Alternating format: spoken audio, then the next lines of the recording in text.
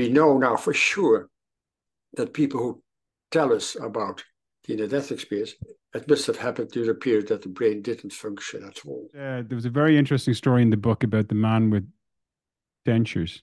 Yes, so you can prove that this indeed happened during a period of cardiac arrest. When people have this kind of experiences, first of all, they think they're crazy.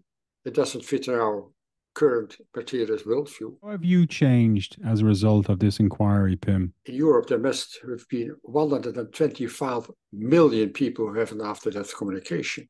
And in the United States, about 100 million people know that people with a cardiac arrest have no brain function at all left. Mm. Retrospective studies, and most people thought it was just anoxia of the brain, neurotransmitters in the brain, hallucinations, dreams. You would have no fear of death, right? No, no, I'm not. I'm curious. I, it's not the same as people with a near-death experience. They're 100% sure. Mm. I think I'm 98% of 99, but the brain stop uh, function stops. There should be no consciousness, let alone an enhanced consciousness with the possibility of perception out and above the body, with emotions, with cognition, with memories from early childhood, etc.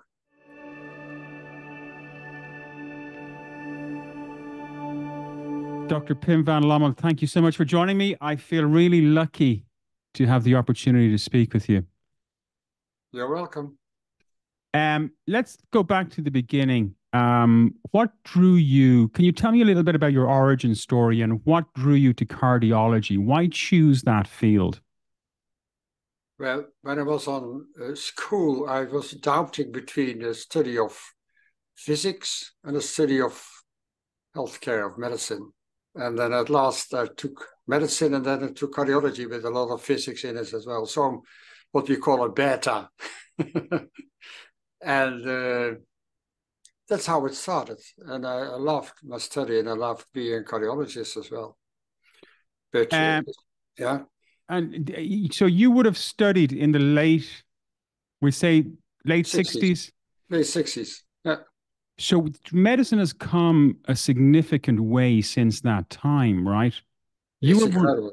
Uh, you, you, yeah, when, I studied uh, uh, medicine, cardiology was just about congenital heart disease and valve disease, and that's yeah. it. And in, in 69, it was the first coronary care catheterization. And, uh, and in 71 was the first bypass surgery in Holland. And I was working in the first hospital who were doing this cath lab and and, and uh, heart surgery as well. That's um that that's amazing. So you've seen medicine almost like go for the study of of cardiology go from almost the embryonic stage to what we yes. know now, which is massive.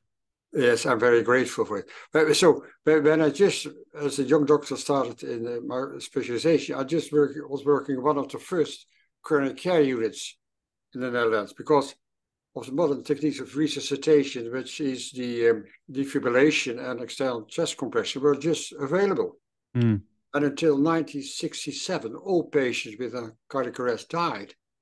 So it was all new coronary care units as well. And it was, when I started specialization, there was one medication available, and that's it. But when you got coronary care um, and then uh, heart catheterization with a coronary angiogram and then bypass surgery, and then later PTCA and stents and uh, pacemakers and ICDs and a lot of medication, etc., rhythm di- uh, diagnostics, etc. So it was, I have just seen the start of cardiology until what it is now. It's incredible. Um, I've heard you say science is asking questions with an open mind. And that's you, it yeah. do you feel that the scientific community can be dogmatic, rigid, or even inflexible? It is. Still now, uh, for quite a lot of scientists have been raised in the materialist science and, and they just fixed in this dogma that everything can be explained by just when you can objectify something and can measure something, when you can duplicate something, or when you can falsify, falsify something, then it is true. Uh, so all the facts must be objective, measurement, measurable. But then the problem comes with consciousness. So what you think and what you feel, you cannot objectify, you cannot measure, you cannot duplicate, you cannot falsify. So then they have a huge problem. And that's why they just tell us consciousness is just an illusion, it's just the brain what you're looking at. And consciousness does not exist, exist at all. And that's still the majority of neuroscientists and also even philosophers, psychologists, still have this idea. And uh, so have to change uh, science as well. And that's what you said. Science is asking questions with an open mind and forget what you've learned, forget the concept you've learned, because otherwise you will miss new facts and new ideas. Do you think there's an element of protectionism? It's, right? it's fear. Yeah. It's fear. I think when, when you have always told and, and written articles and doing research uh, where to find consciousness somewhere in the brain, and you seem to be wrong, then you lose your your your research money, you, re, lose your position in university. I know some professors have lo lost their position in universities because they had the different ideas. So um, they're frightened. And I know some professors who do privately tell me, you could be right. But officially, they say this is total nonsense until they retire. And then they said, I could have been wrong my whole life. of course, of course. Um, you began researching ND, NDEs in 1986, but you had an experience in the yeah. late 60s. Can you yes. tell us about that experience? Yeah, that was what happened in the, in the first coronary care unit in, um, in the Netherlands. So we resuscitated a man of 44 years old who had a cardiac arrest due to acute myocardial infarction. And we had, I think, three or four times defibrillation, and he regained consciousness after about four minutes. And we were so happy as a resuscitation team. I was the doctor in charge. It was all new for us. And the patient regained consciousness. He was alive again. But the patient was very, very disappointed and told us about going through a tunnel, talking about the light and beautiful landscape, beautiful music.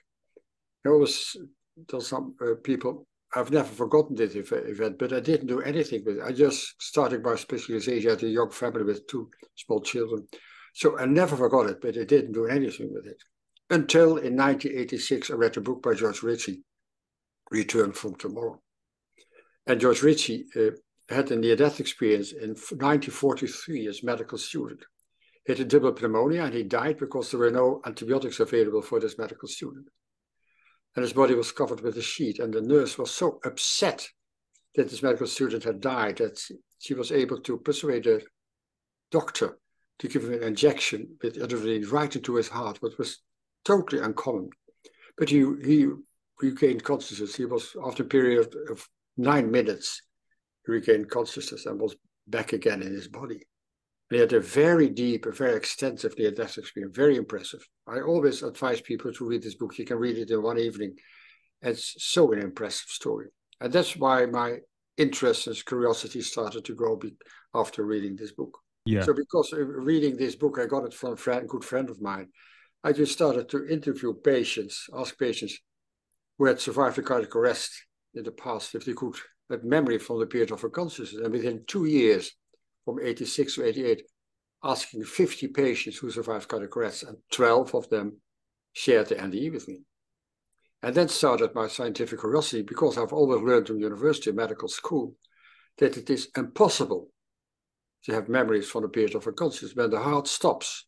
During cardiac arrest, there's no circulation, no breathing, you're in coma, uh, you're, you're, you're dying, then it should be impossible because the until now never proven hypothesis that consciousness brought the brain function, then it should be impossible because when the brain stop, uh, function stops, there should be no consciousness, let alone an enhanced consciousness with the possibility perception out and above the body with emotions, with cognition, with memories from early childhood, etc.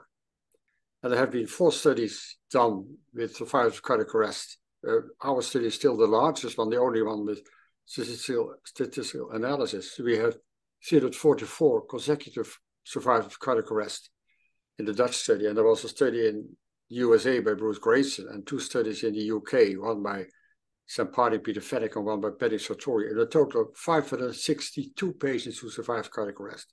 Mm.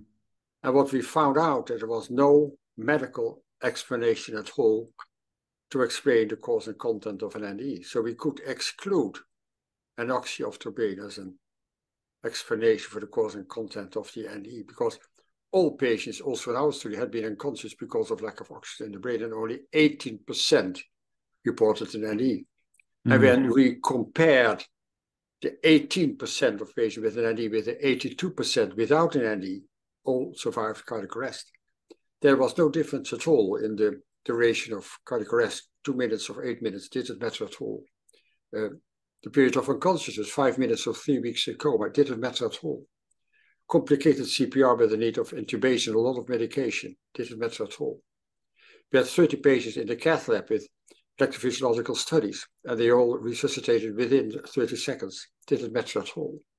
So the severity of anoxia of the brain did not matter at all to explain uh, the cause of NDE. And until that time, there were just retrospective studies, and most people thought it was just anoxia of the brain, neurotransmitters in the brain, hallucinations, dreams, uh, whatever, false memories. So we could exclude all the other explanations as well. So we could exclude psychological explanations like the fear of death. We could exclude use of medication, whatever they got. It didn't matter at all. They, we could exclude gender, religion. If they were, people were atheists of, of Christian or Muslim, didn't matter at all. Education didn't matter at all. Foreknowledge, that you know that these experiences are possible, didn't matter at all. So the main conclusion of our study was there was no medical scientific explanation why people have a near-death experience in cardiac arrest. That's the first thing. The second aspect is that we know that people with a cardiac arrest have no brain function at all left. So there have been studies on induced cardiac arrest in, in, in, in humans, let's say for threshold testing in ICDs. So you induce a cardiac arrest, you test the ICD to find a good threshold. We also have done these studies in animals. What we see in those studies that when you have cardiac arrest, you lose consciousness within seconds. The blood flow to the brain, when you can measure here the carotid artery, is hmm. zero mm. within one second. The, the body reflexes are gone with the function of the cortex of the brain. The brain stem reflexes are gone. So the, the, the yank reflex, you put a finger in someone's throat without any problem. The corneal reflex, the, there are fixed dilated pupils who do not do not react on, on light. There's no breathing anymore. The brain center is close to the brainstem. And when there are studies, and there have been studies done with the registration of the electric activity of the cortex of the brain, the EEG. The EEG always flatlines within 10 to 20 seconds. So we have proven that there is no brain function left after 20 seconds after cardiac arrest. And there is no patient ever been successfully resuscitated within 20 seconds. It always takes several minutes, even in the coronary care unit, to get people back. So we know now for sure that people who tell us about the near death experience, it must have happened during a period that the brain didn't function at all. And that's the main conclusion. And then there are also aspects of the, uh, and the like the out of body experience that, that people can have critical perceptions from a position out and above the body, which can be corroborated by doctors, nurses, and family members. And, and so you can prove that this indeed happened during a period of cardiac arrest, because you can also have, see at what moment of the CPR of surgery the, the outer body experience happened.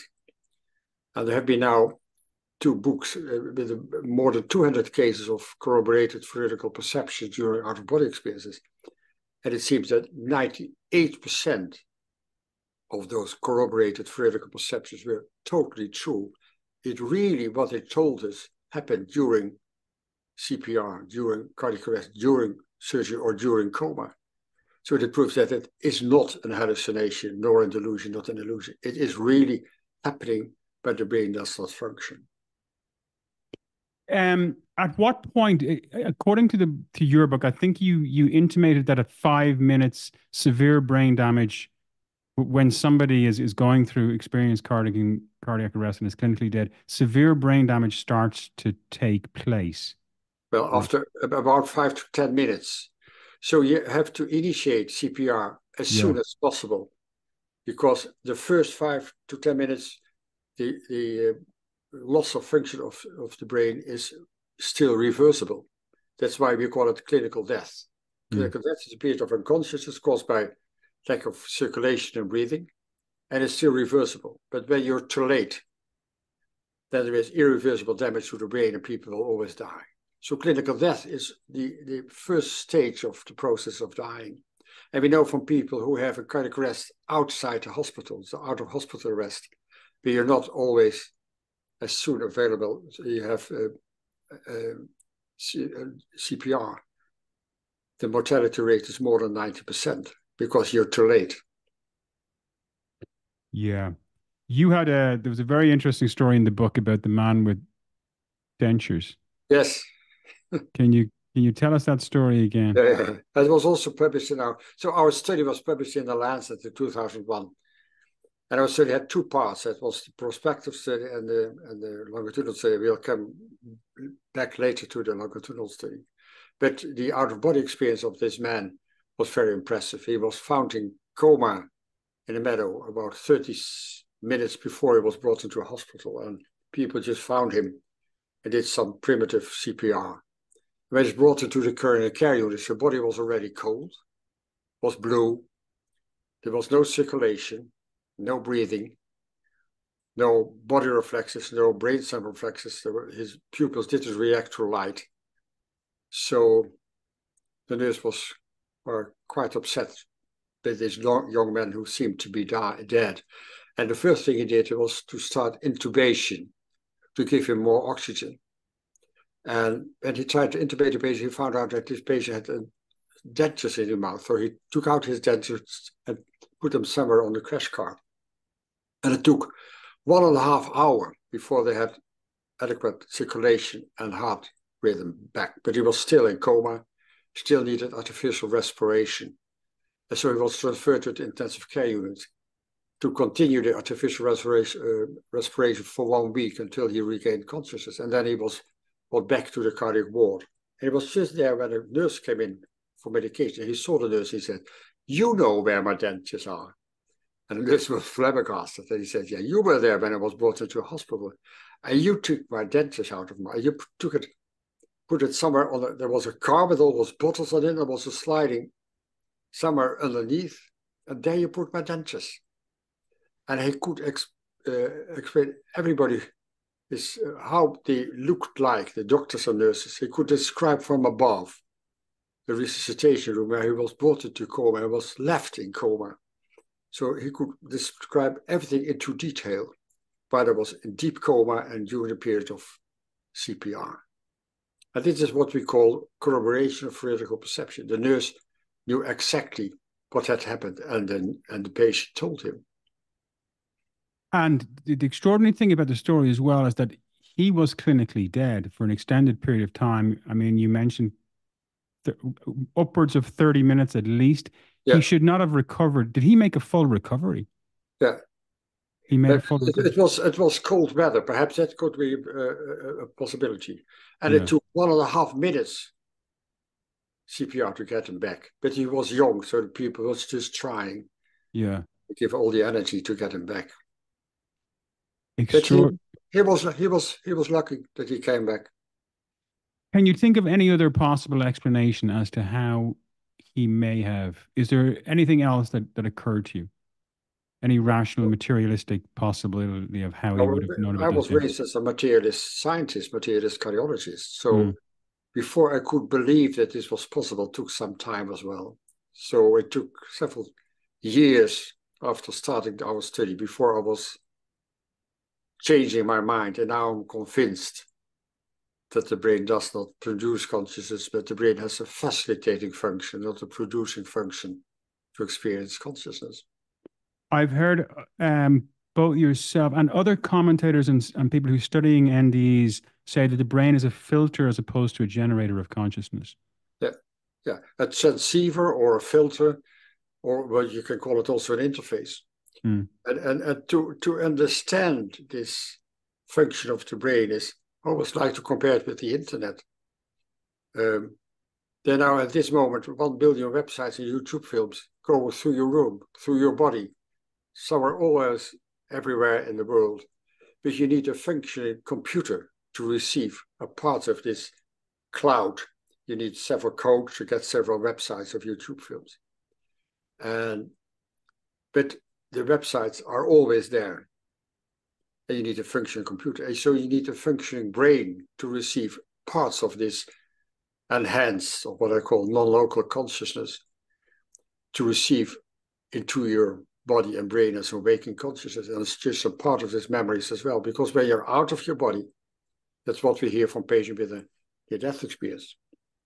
Uh, you have all memories from early childhood. You're connected with other people as well. You have some type of future events as well. So you are in realm where there is no time, no space. Everything is connected. And that's why we call it non-local consciousness. Everything is always connected without time, without space.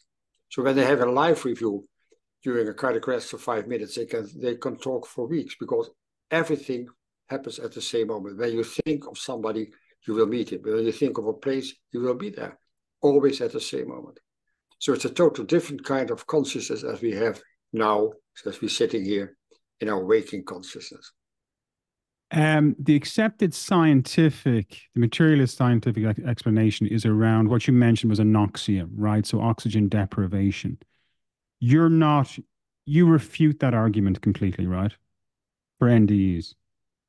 Yes, I think we, we could prove in the four prospect studies in survivors cardiac arrest that we know that during a period of a non-functioning brain, a percentage between 15 and 20% of those patients reported in classical experience with all the universal elements that are possible.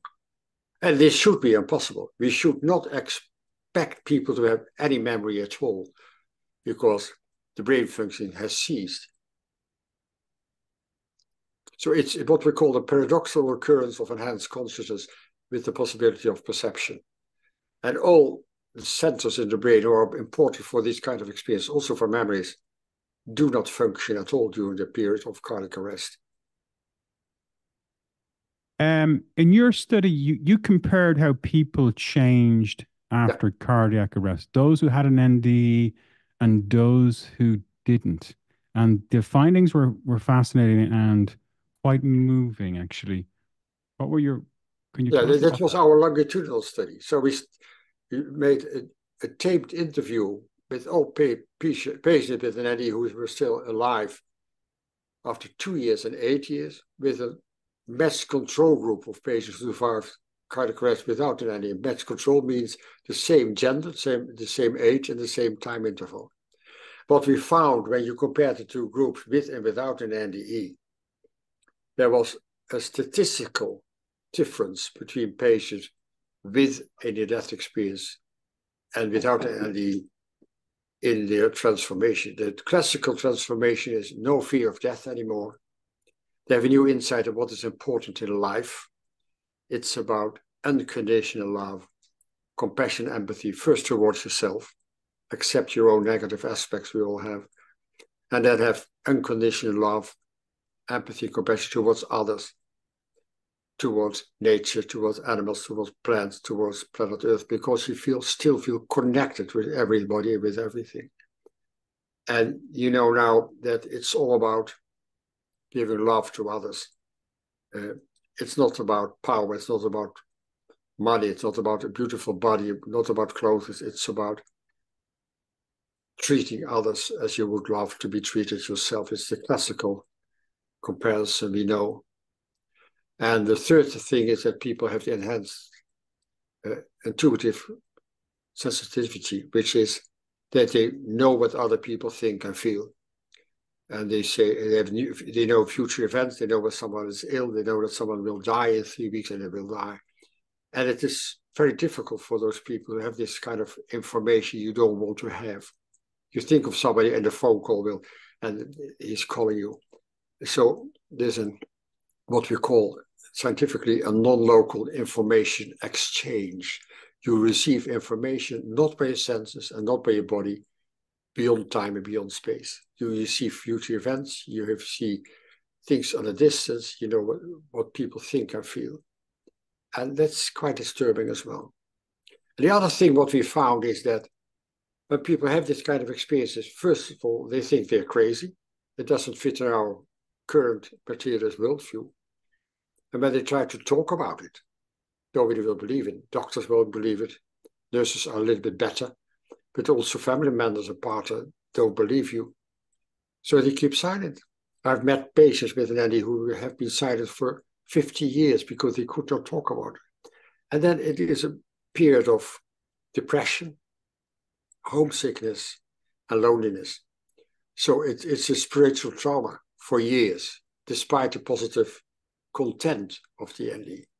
And as soon as they see a film on television or they read a book or they talk uh, hear someone talk about in the death then they, then they know I'm not the only one. Um, it's called an NDE, and they start to share it with others, and then they can start to accept it and later to start to integrate it into their daily life and they change the way they live. And it can take 20, 30, 40 years. So it's hard work, despite the positive content of the NDE. Yeah, um, but ultimately it is a a a significant life changing experience. I oh mean, yes, it is. It's incredible. Quite, it's quite incredible. Um, Neil deGrasse Tyson spoke about NDEs, and he made the the point that you're very often you're relying on subjective eyewitness testimony, and the, we know from eyewitness testimony that it can be falsified or it can be flawed, and we we we see this all the time in in courtrooms, chillingly enough. What's your perspective on eyewitness testimony as the main arbiter of yeah. evidence? Well, what I told you before, there you can corroborate veridical perceptions that people have had, and what they told us as subjective experience happens to be true in reality. So uh, what they could perceive from a position out and above the body really happened at the moment of the coma of cardiac surgery. They can meet deceased relatives, even if they don't know that they were dead as well. Uh, so it's also an objective aspect. So you can see some of future events. I know people have written down what they have seen in the uh, any future events, and they can later, well, skip it off because it happened years later as well. So there are some objective facts which you cannot deny at all. Um, and there has been a study done uh, about the quality of memories in patients with an near-death that was done in Belgium. And when you compare the, the quality of memories from patients with an NDE with memory from uh, things happens in daily life, the quality of memories with NDE is much, much more severe and strongly. And when you talk to patients, when the NDE had happened 50 years before, they talk about it with the same emotion as it happened yesterday. It's totally different from normal memories. Um, what is the um, the problem um, with the brain as a computer analogy comparison? Is there a problem? For me, there's no problem, but the problem is with material scientists who still believe the never proven hypothesis that the brain produces consciousness. Mm. But then all these these experiences should be impossible. So when the brain doesn't function and you still have this enhanced consciousness with the possibility of perception out above the, the, the lifeless body, with cognition, emotions, with memories from early childhood, etc., that should be impossible. So um, material science scientists have to change their mind, but they're it's hard for them because they're they're they're frightened that they still have a wrong worldview as all in their work. Neuroscientists um, and neurosurgeons would say that the likely location of consciousness is the cerebral cortex. What would be your perspective? Am I, am I right in, in making that assertion? Well, as I told you before, the brain doesn't function at all. There is no part of the brain mm. which is active. There's a flatline EEG, which is the activity of, of the cortex of the brain. And to have our waking consciousness as we have it now, according to modern neuroscience, you have many neural centers in the cortex who coordinate information and exchange information with each other. It's called the global neural workspace. And it's not at all available during cardiac arrest. So it, it's according to our current uh, neuroscience, it should be impossible to have any memory at all. What's the role of DNA in consciousness? we don't know. Uh, it, it, let's say, I think personally, and I've written about it in my book as well. Yeah. That um, it's not just the brain functions as an interface, but I think the whole body functions as an interface. Uh, so different aspects of consciousness have different in, different interfaces. So each organ in each cell has an interface function. And my idea is that DNA could be the interface in each cell.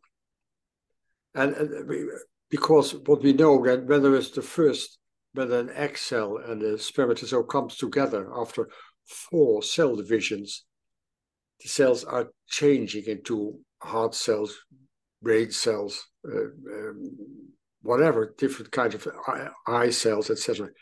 They differ, but the structure of DNA in each cell is the same. But the function of the DNA changes because of information from outside. It will also know from epigenetics. So information from outside can change the function of the brain, not the structure, but the function of the brain. So genes go off and on. And, and we also know that um, after um, organ transplantation, even let's say heart and lung transplant, people sometimes have changes in their character. And we don't know who the donor is, but in the United States, after five years, you, you can ask who the donor was, and changes in, in, in the character fits quite well with the character of the deceased donor who gave organs. So the, the, the when you receive an organ, it's still a living organ.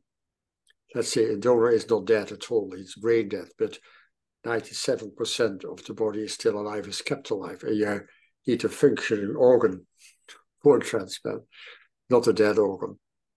Um, so the, this transplanted organ still functions as a kind of receiver of interface for parts of the consciousness of the deceased donor as well.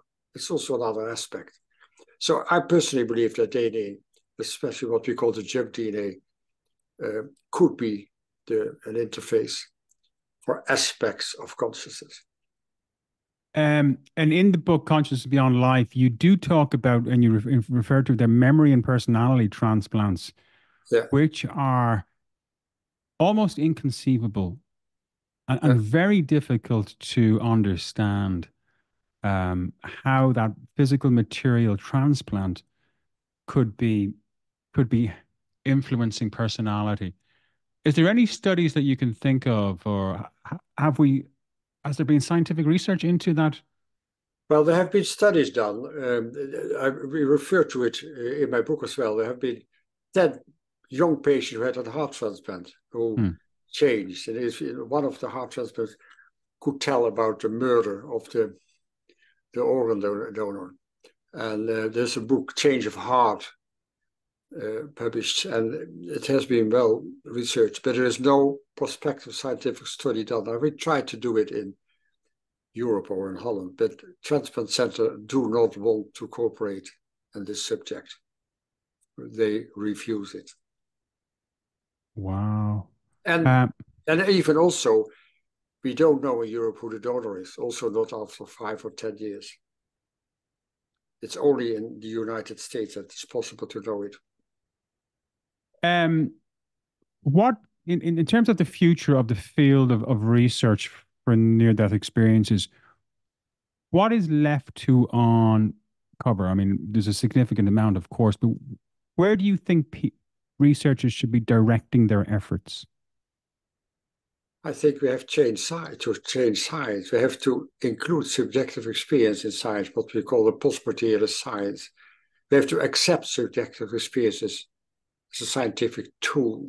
We have to believe what people tell us. We have to, because what you are, the essence, essence of who you are, is what you think or what you feel.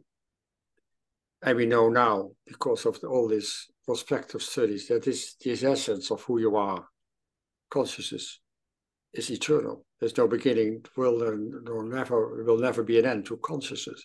So for me, the main thing is not have more research, but to spread the word about it. Let's say um, giving interviews like I'm doing now, reading books, um, Zoom interviews, uh, articles, uh, also my website on many scientific articles, just peer reviewed journals, uh, the published articles and people have to know about it. I think the general population knows much more about this kind of research than the most materialist scientists. They have an opinion which is usually prejudice and willful ignorance because they don't know the literature as well.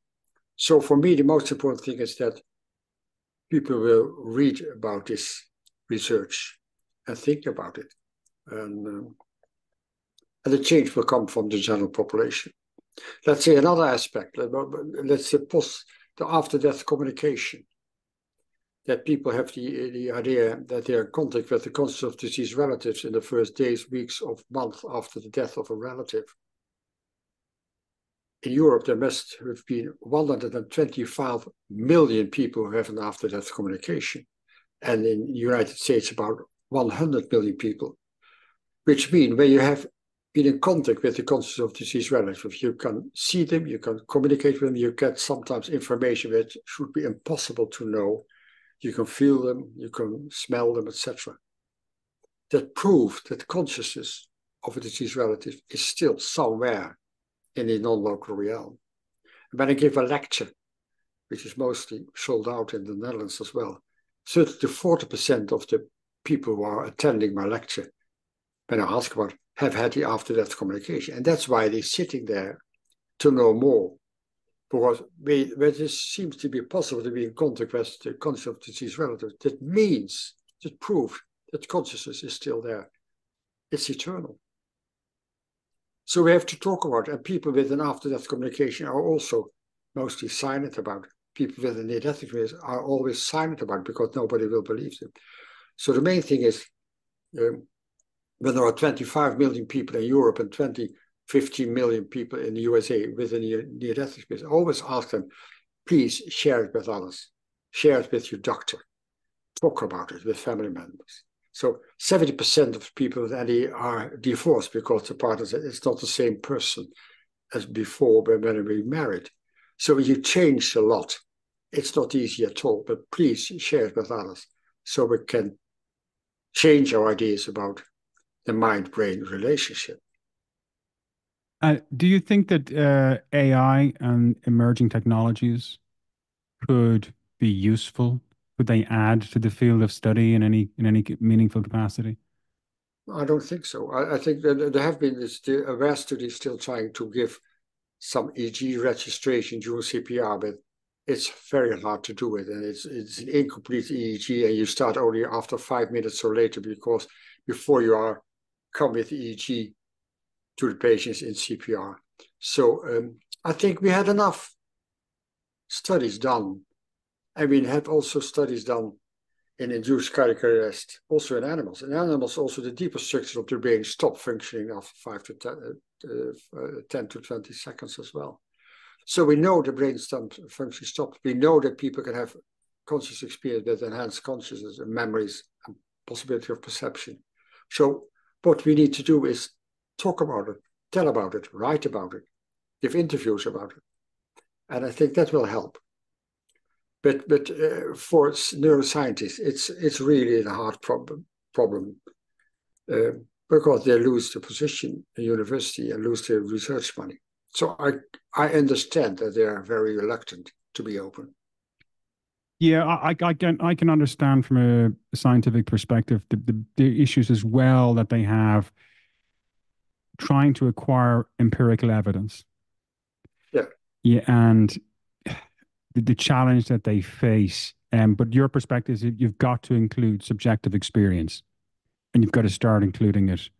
Um, so what we did is an empirical study. Mm. So uh, our study was uh, published in the Lancet because the empirical study was well done and the statistics were well done. So it was a well done study in scientific point of view. And that's why they published it.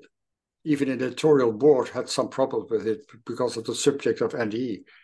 But the methodology was well done as now. So we had statistical analysis with empirical studies done. So we don't need more. For me, we don't need any more. When you have 562 patients who survive cardiac arrest in studies, I don't know if you will add information. We have 1,000 study uh, patients or so. But what's interesting now that a Spanish group is now starting to reproduce our study in Spanish-speaking countries. So we have now already 10 hospitals uh, in Spain, Mexico, and South, Mid South America, where they start to reproduce our study with the prospective and uh, longitudinal aspects as well. It will take another 10 to 12 years. But it's very interesting. And uh, we hope to have results within several years. We have to wait. Uh, but I'm convinced that we, they will have the same results as we had. How how have you changed as a result of this inquiry, Pim? Yeah, well, I was was I told I was a material scientist, uh, convinced that the brain was producing consciousness, and now I'm convinced that there is a non-local consciousness beyond the brain, and that we have to change the way we live because I'm now convinced also that we are connected with each other and with nature. So we have to think about the environment. We have to think about the future of the planet Earth, where, where our children, grandchildren have to live and survive. So we have to change the way we live. My wife and I are vegetarian for more than 25 years now. We love to be outside each day. We try to be at least one hour in nature, walking or biking. Uh, we love our garden. In our house, it's always silent, no music at all, no, except when we start to listen to music, but it's always silent as well. So um, we're relaxed, we're happy, we're grateful for our life. We have two children, five grandchildren who are happy as well. So it's a good life, grateful. I'm 80, nearly 82 or 81 years old now, and I'm still active, biking, walking each day. And you would have no fear of death, right? No, no, I'm not. I'm curious. I, it's not the same as people with a near-death experience. They're 100% sure. Mm. I think I'm 98% or 99% sure. And, and I think the process of dying is not easy at all. It's hard mm. work. But death is a relief. Death is something else. You did say in the book Consciousness Beyond Life that um, a small percentage of NDEs, NDEers found the experience traumatizing and awful. Yes, distressing NDEs. We don't know the exact number, perhaps one or two percent. Mm. Even patients who have a distressing NDE or hellish experience are more reluctant even to talk about it with others because they have a feeling of guilt as well. So uh, perhaps one or two percent of those patients have a one or two percent distressing experience, and and they come in, let's say, when you have a positive near death experience, about 50% of those patients come in a dark space, dark room. That can be frightening. And then they see a small light they're attracted to it, they call, call it the tunnel. But perhaps 1 or 2% stay in this dark room of going down in a kind of hellish experience. Also, George Ritchie was in this down uh, uh, realm somewhere. Um, it's like a little bit like uh, Divine Comedy of Dante, people can experience as well. Um, I call it an incomplete uh, NDE because they don't go to the light, come back. And there have been uh, articles published about it and also a book published about it. They are not bad people, um, but they experience a, a, distressing experience as well. And uh, you should remember and realize that, well, when you experience your what we call your reality around you, the world you see is depending of your state of consciousness. When you're love it's a beautiful world, and when you're depressed, it's an awful world, but it's still the same world. So mm-hmm. when you are in the aspect of fear, you can have a experience of fear during the, the NDE. But it doesn't say anything about the person you are. You also made the point that the mind can change brain functioning, right? And we know this, and this has been demonstrably proven to be true because, I mean, through meditation, through neuroplasticity. Can I ask you about that again? Oh, of course. Um, but the neuroplasticity is very important. When you young children, there's hundreds of thousands of, of connections are being made each day in the brain of a, of a small child. Um, but when you change your consciousness, then you change the function of the brain. And we know it from placebo effect. When you have severe depression, of a lot of pain, of Parkinson disease, and you get a placebo treatment, you see in the brain the same improvement than you see when you have a real treatment. So when you believe you're treated well, then your brain changes as well, and you have less complaints as well. So Parkinson's patients can move better. Depression is less, pain is less, etc. And we know it for meditation. When you have a long-term meditator, you have far more gamma waves in your brain. But also when you or I start to, to meditate for six weeks, then already your brain function changes as well.